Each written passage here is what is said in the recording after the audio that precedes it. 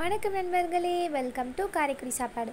இன்றைக்கி நம்ம வீட்டிலையே மாவரைச்சி சிம்பிளாக உளுந்து முறுக்கு எப்படி செய்யுதுன்னு பார்க்க போகிறோம் வீடியோக்குள்ளே போகிறதுக்கு முன்னாடி இப்போ தான் முதல் தடவை நீங்கள் நம்ம வீடியோ பார்க்குறீங்கன்னா மறக்காமல் நம்ம சேனலை சப்ஸ்கிரைப் பண்ணிடுங்க முறுக்கு சுடுறதுக்கு நம்ம உளுந்து அரைக்கணும். அதுக்கு முன்னாடி உளுந்தை நம்ம க்ளீன் பண்ணிடலாம். இது போல் ஒரு வெள்ளை துணியோ இல்லை ஒரு காட்டன் துணியோ எடுத்து நல்லா உளுந்து இது மாதிரி தொடச்சி விட்டிங்கன்னா அதில் இருக்க தூசியெல்லாம் போயிடும்.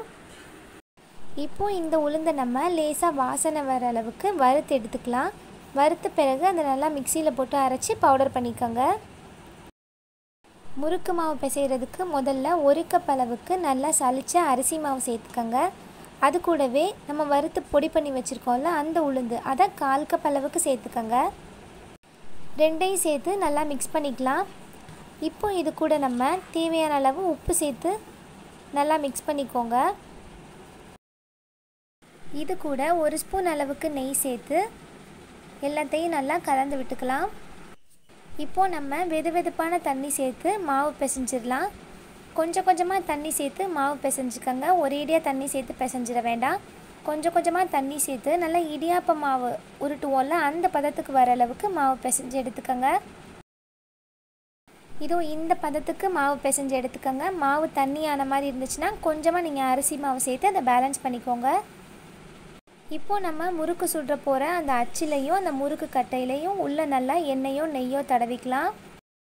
நம்ம பிசைஞ்சு வச்சுருக்க மாவில் நமக்கு தேவையான சைஸ்க்கு மாவு எடுத்து நல்லா அதை நீல வாக்கில் உருட்டி எடுத்துக்கோங்க.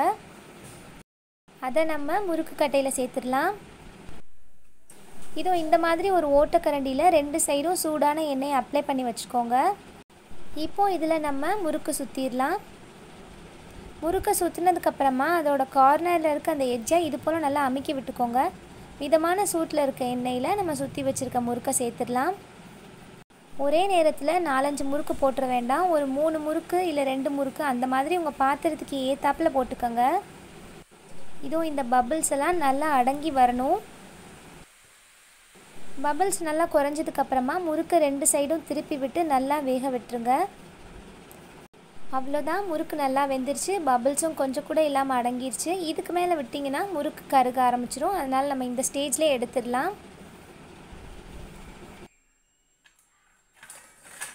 இதே போல் நம்ம மிச்சம் இருக்கிற எல்லா மாவுலையும் முறுக்கு சுட்டு எடுத்துடலாம்.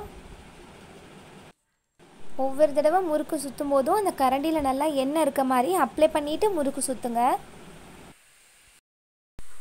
பபிள்ஸ் லேசாக குறைஞ்சதுக்கப்புறமே முறுக்கை நல்லா திருப்பி விட்டுருங்க. அப்போ தான் ரெண்டு பக்கமும் ஒரே மாதிரி வெந்து வரும். அவ்வளோதான். ரொம்ப அருமையாக மொறு மொறுன்னு நம்மளோட முறுக்கு தயாராகிருச்சு வீட்டிலையே மாவரைச்சி செய்யக்கூடிய இந்த உளுந்து முறுக்கை கண்டிப்பாக எல்லோரும் இந்த தீபாவளிக்கு ட்ரை பண்ணி பாருங்கள்